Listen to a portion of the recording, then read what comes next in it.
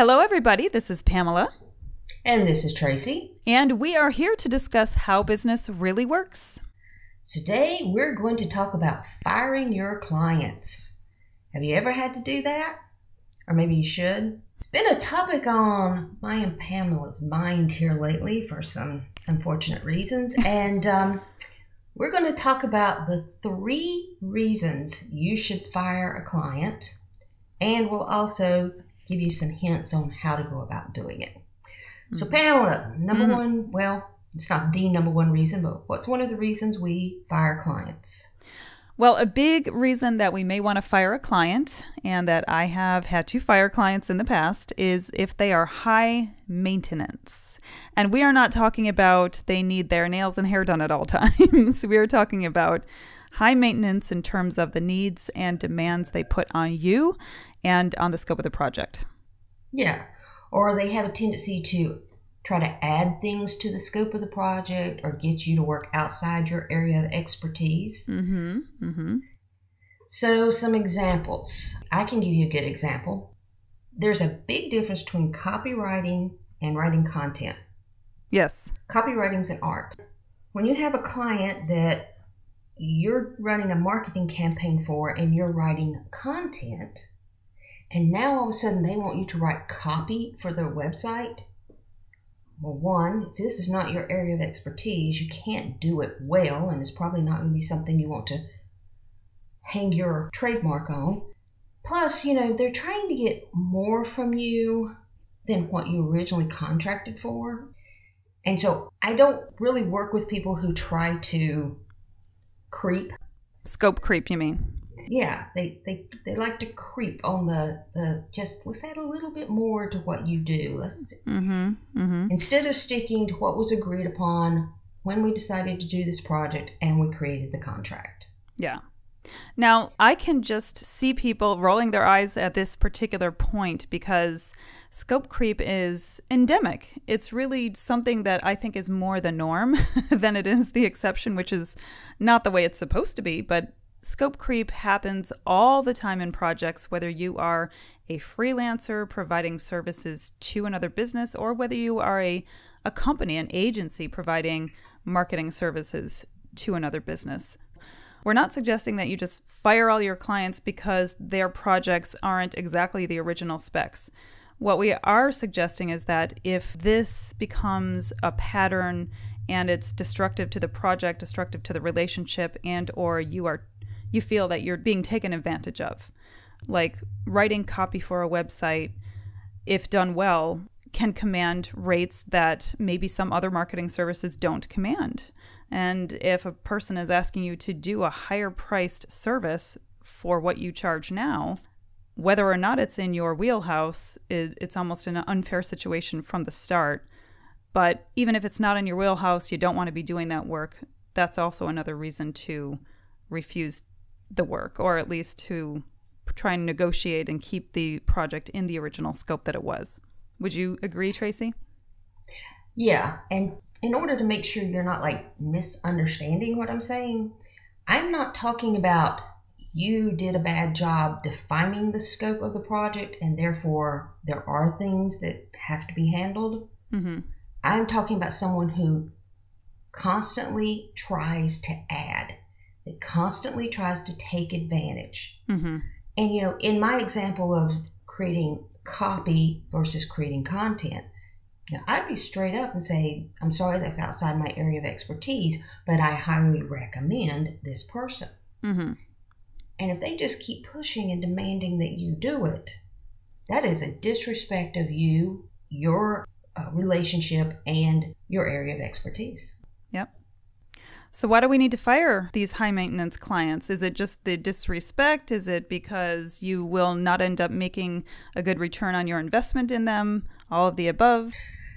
All of the above. Basically, how it harms you is if you're putting in extra work for this client that you're not being compensated for, that's time you're not working with another client who will compensate you. Yeah. If this client's demanding too much of your time and energy, too much of your resources, then you're taking that away from other clients that you could provide a better job for, you could have a better working relationship with, and they could do a better job of bringing the ideal clients to you. Well, let me throw this at you. Say we've got a freelancer who is listening to this episode of the podcast and they are bootstrapping it, they're hungry, they need the work, and the first client they land is doing this to them. They're trying to tack on all these additional services for no greater pay or somehow or other take advantage of the provider. But this freelancer needs the work. So, what do you say to that person? Oh, you want me to backpedal, aren't you? no, no, I'm asking because I've been in this situation in the past. Okay. Number one, stand your ground. Mm-hmm. Do everything you can to keep things in scope because once they accomplish this, you're never going to back them down in the future. That's true. Once you give in, you'll never back them back in the future when it does matter. Mm-hmm. And secondly, I would be working my butt off to find that second client and get out from under this situation. Well, I'm going to add to that. I wasn't trying to get you to backpedal, actually. I wanted you to kind of answer the way you did because here was my, I mentioned that I have been in this situation in the past, and here was the outcome of it. So, and in fact, I've talked to Tracy about these kinds of situations in my own professional life. What happens if you let this client run roughshod all over the project and all over you is just as Tracy said, you are setting the precedent for them to do it from here on in for the rest of whenever you work with them.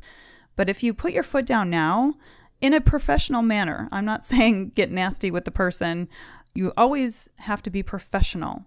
But if you do set your limits now, what will happen is that nine times out of 10, I think, they will actually respond to that favorably. I mean, they may not like what you're saying, but they will respect the fact that you're setting up boundaries and that you are insisting that you be treated like a professional. The fear, I think, and I had this fear as well, is that, oh my God, I can't stand up to this client because then I'm going to push them away and I'll have no work. But actually, I think it works the opposite way. And this also reminds me of a, a situation where I was working for a consulting company. So I I was working for one consulting company interviewing at another. And I got an offer at the second consulting company for more money, and I was inclined to take that offer. I eventually did, but they wanted to see um, my pay stubs from the previous job. I wasn't comfortable with that, first of all, because that's my personal, you know, they don't need to see that to know what value I bring to the job. And yes, my previous salary had been lower, and I did not want them to get that number in their mind and then not offer me what I knew I was worth. So I didn't want that to happen. I also just had a problem with it on principle. And they told me if I did not supply my W 2s, I would not be made an offer.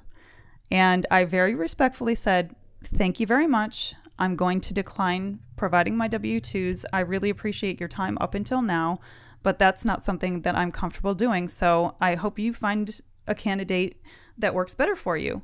And I walked away. And then guess what? Next day, I got an email saying, But the client really likes you and they want you on this project and blah, blah, blah. Let me see what I can do. And they made an exception for me and hired me without seeing my old W 2s. They gave me the salary that I wanted. And I was prepared to walk away. So I think that works in the corporate setting. I think it works in a personal setting, like a, a freelancer setting. If you stand up for yourself and your value, more often than not, they will come to you anyway. Well, I'll be honest with you, they weren't concerned about what you were making. Hmm. They already knew what they were willing to pay you. Right. They were just trying to get data on the competition. Ah. And oh, what you are paid by another employer is proprietary information between you and that employer. That's right. Somebody else's business. That's right. And that's what I basically said to them. Um, oh, I didn't think of it in those terms, but hmm, you're right. And it and this point still stands. It has nothing to do with what they were prepared to offer me and what I wanted to get from them. But I stood my ground. I said no. and I I honestly thought that I was going to lose that potential job offer, but I didn't. So don't be afraid to stand up for yourself just because you fear the worst. The worst is probably it might happen, but it probably won't actually. You probably will be setting yourself up for a very healthy relationship with this future client because now they know that they can't push you around. Well, and truthfully, well, let's just let's look at that situation. If the person does get angry and say, "All right, I'm not going to work with you," hmm trust me, I don't care if this is your first client. Within three months, you're going, "Oh, I'm so glad that happened." Yes. These people will drain you. They're vampires. That's ugly, but honestly, they're vampires. They're out to suck your blood. Most of the time, people will just see how far they can push the envelope without actually expecting to get anything. They're Mhm. waiting to see how weak you are, if you are a pushover. And if you stand up to them, they're just going to respect you and you're going to have a great working relationship. You're probably going to have a better working relationship moving forward because you've created a level of respect between the two of you. Yeah. You're, you're now someone who is an asset to them rather than an employee they can push around. That's and right. as a freelancer or as a contractor or anything of that nature, that's the position you want to be in. You want to be their asset, not their employee. Yeah. And to do that, you have got to believe in your own value. And Tracy and I harp on this. I mean, practically every episode we do in some form or another. Maybe we don't say it exactly like that, but really that's what it comes down to. You have got to believe in your own value in order to take a firm stand, a professionally firm stand, but firm nonetheless, and don't back down. Yeah, and it's very simple. I'm sorry, I can't do that. Yeah. Okay, the other reason you would fire a client is they constantly try to negotiate your price and your terms. Mm-hmm. Oh, now this one is so common. And hopefully you're going to figure this out about a client before you ever sign a contract or truly take them on as a client. Hopefully you're going to find out in the discovery phase. But it is very common for someone to hire you, not say a word about your price, and pay your price, and then the next project comes around, and guess what? They think they should get a discount because, you know, there's that understood thing about the preferred customer discount. Mm-hmm. I don't have a preferred customer discount. I price fairly from day one. So, Pamela, do you have any examples about this? Well, I have been through this recently where I quoted a project and there was a lot of back and forth about my rate and if I wasn't going to change my rate, which by the way was a standard rate for the work that I was doing. In fact, I probably could have quoted even more, but you know, I was trying to not scare the client off, but still command a decent rate. And if I wasn't going to budge on the rate, then they wanted to cut back the amount of time that I was going to take on the whole thing. And I had already estimated my time conservatively. I know a lot of freelancers don't, and you shouldn't estimate your time too conservatively because things always happen. But I was being very conscientious of keeping it to the minimum that I would be satisfied with doing myself and also the minimum that I felt would provide the client the value that this person wanted. Um, and there was just so much back and forth about it that I was finally, I finally just thought to myself, you know, maybe they can't afford me. Maybe that's the situation. Or maybe they are just a bargain shopper and that's how they approach their business in general. In which case, if they are a bargain shopper, I am not the product that they want to buy. I'm not the most expensive consultant out there, but I'm not the cheapest. And I'm not going to act like I'm the cheapest either. I put out excellent quality work. I am very conscientious about it. I'm almost perfectionistic about it. And I'm not going to lower myself and lower my rates to the bargain basement price when I am a premium product service provider. And so finally, I just kind of the light bulb went off. And I also discussed this with Tracy that this person was obviously going for the cheapest that they could, and that wasn't something that I was willing to do either now or later. So I did. I walked away. I just said, you know, thank you, but I think that other consultants may may suit your needs, and thank you for your time. And that was all. And why do you need to fire this client? Well, the number one reason is why should you be doing discounted work when there's other people that are out there that'll pay your price? That's right. Kind of goes back to that idea of creating the vacuum so the good stuff can come. hmm If your time's taken up with people that aren't paying you your regular rate, then you don't have time for the people who are going to pay you your regular rate. Exactly. Exactly. And the other thing is, do you really want to have to negotiate everything every time? I mean, that's the purpose of having repeat clients because it makes the workflow and the process so much easier. If you have to go through the whole discovery process before every single project, you might as well just be bringing in a new client anyway.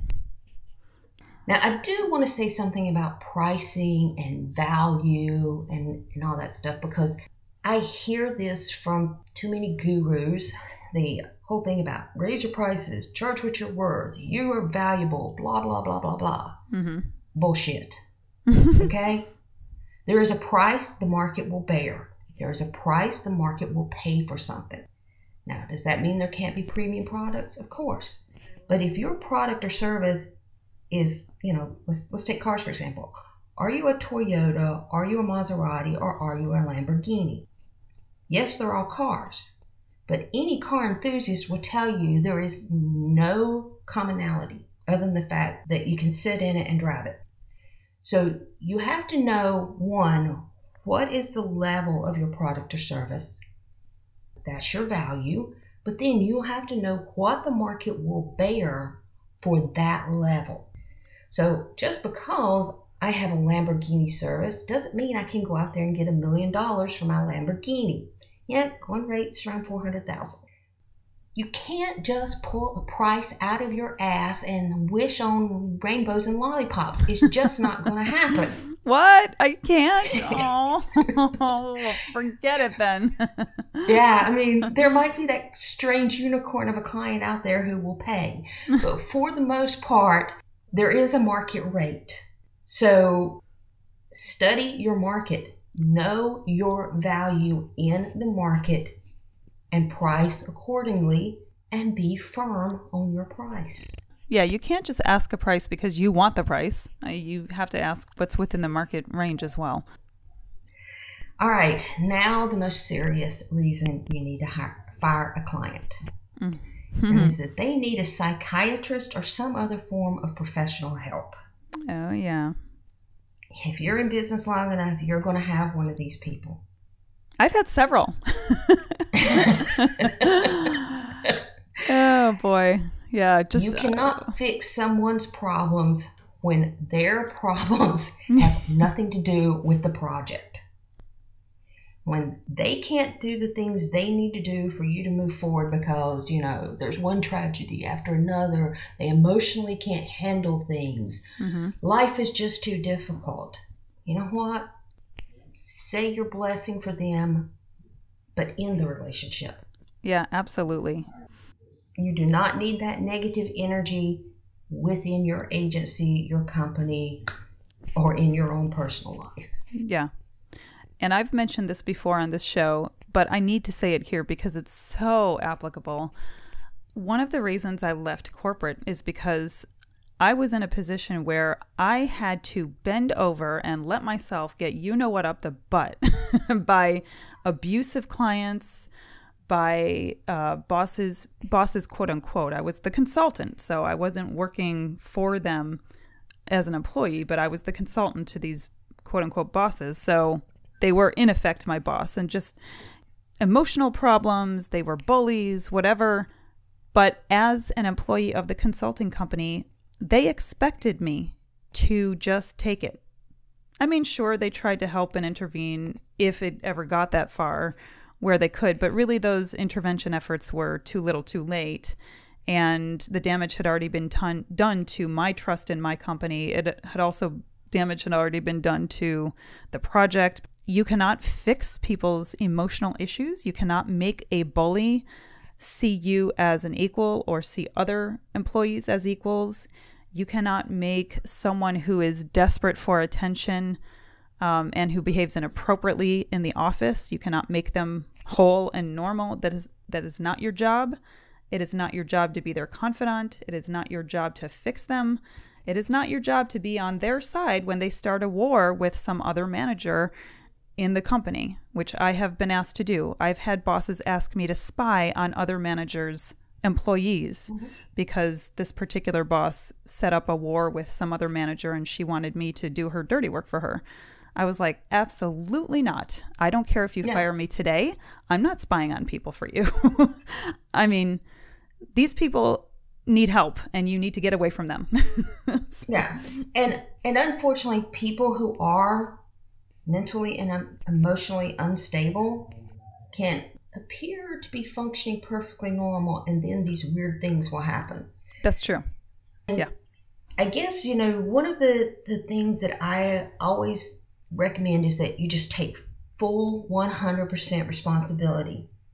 Because if you ever try to let them know why you're not going to work with them, they're going to get very much on the defensive. Just fully take responsibility. Make it all about you, your inabilities, the fact that you can't do it. And I think the easiest way to do it is keep it as short and sweet as possible and do it as quickly as possible. The longer it drags out, the harder it'll be. But I usually tell people I just don't feel that I am qualified and capable of doing what you need to have done. I can't do it. My team is not going to be able to fulfill your needs. How can they argue with that? I think the tendency is to try and explain why you can't work with these people. Don't explain. First of all, you don't owe them any explanations. If you're not ready to work with them or qualified to work with them, that's all you need to say. You don't owe them an explanation. But second of all, if you do explain, that opens up the door for them to try and convince you why you're wrong. You don't want that to happen either. Then you get into a big back and forth with them about them saying why you're wrong and you're on the defensive now. No, just just say what Tracy said. I am not qualified. My team is not qualified. We are not prepared to work with you. Thank you very much. And if they ask for an explanation, you do not need to provide one. What you've said is enough, and they just have to accept it. Yeah. And you know, it's interesting. I have fired clients at every level. Mm-hmm. when I had retail stores, I fired clients. I've had people walk into a store and just belligerently attack my employees. Wow. You know, and an employee is trained, customers always right, take whatever, you know. But if I was there and I witnessed it, I would walk right up to the person and I'm say, I'm sorry, this is a human being. You cannot treat them in this manner and you are no longer welcome in my store. Please leave. Now that is a little aggressive, but you know, you're in a one on one in a retail store. But you know, today working with clients, I've even fired a Fortune 500 company. Really? Yes, they were not worth it. Interesting. The constant having to go over the same crap over and over again, explain things over and over again because this committee couldn't properly relay it to that committee and this other higher level person couldn't understand it. Da da da da da. And I'm just like, you know what? Your money's just not worth it to me. Mm-hmm. And so I basically just stated exactly what I said. I'm sorry, but I and my team are not capable of providing what you need. That was it. That was all the explanation they needed. So respect yourself. No one's check is worth not being respected. And if you put yourself in a situation where you're not respected, it gets out.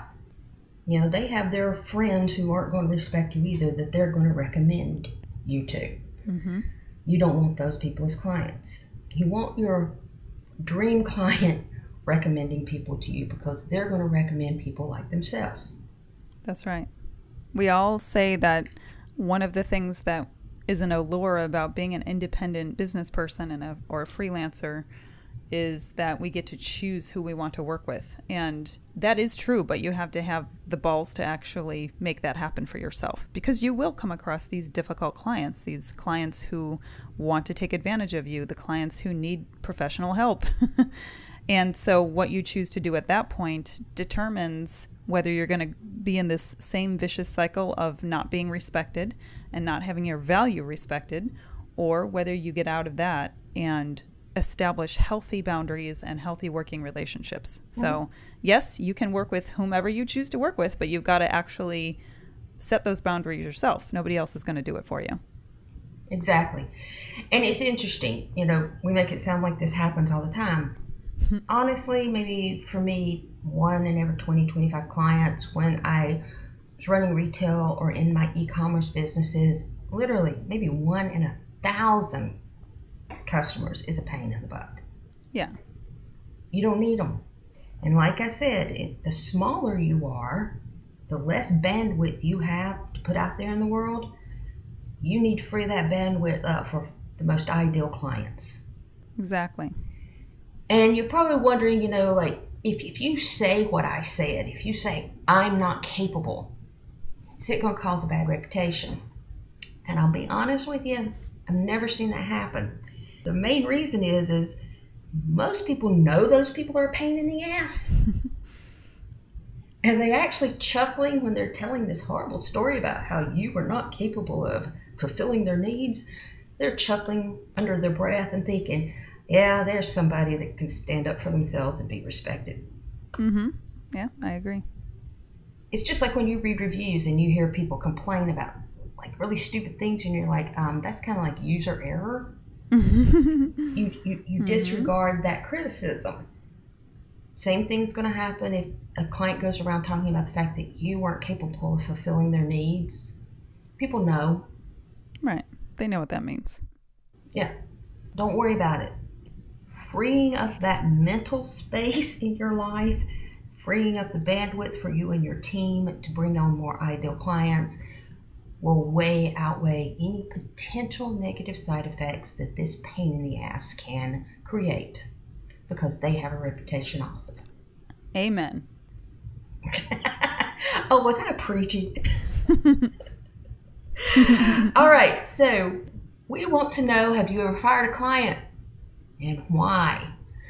Or do you have a client you need to fire? And we want to know why too. Give us the gossip. we want to know these gritty details. Yeah, we need all the sordid detail. so head on over to How Business Really Works and dot com. leave us a comment. I did it again. All right. So head on over to howbusinessreallyworks.com and leave us a message in the comments to this episode or click on the contact button and send a private message to Pam and I. We would love to hear from you. Yes, and when you go over to howbusinessreallyworks.com, don't forget to sign up for our emails and you will get a vision, goals, and focus workbook that Tracy has been working on quite hard for I think several weeks now you've been putting this thing together. Mm-hmm. And uh, it is a comprehensive, just as its name implies, helps you plan your vision, helps you plan out your goals, and helps you focus on achieving those goals so you can get from point A, which is I haven't started, to point B, which is eventually achieving those goals. It's going to really help you out. And I am actually going to be doing uh, probably a mini series using this workbook to further my own goals and my own business. So I'm going to be documenting how I use it so you can tune in and see how I've been using it and see how it's helped me. But go over to howbusinessreallyworks.com and get that workbook. It's going to help you a lot. We are making this workbook available for free through June, July, and August. After that, it's going to be a paid product. So now is the time to get it and start using it. And give us your feedback once you use it. Let us know what you like about it and how it's helping you. So don't forget to get that workbook. And please don't forget to like this episode and share this episode. Let us know what you think. And if you are listening in iTunes, please would you consider leaving us a review? It would be very helpful for us to hear what you think about us, to get some feedback from you. It will also help us be found in iTunes so that we can continue helping more people just like you grow your business. So, like, share, leave us a review on iTunes, and we will see you on the next episode. Bye bye.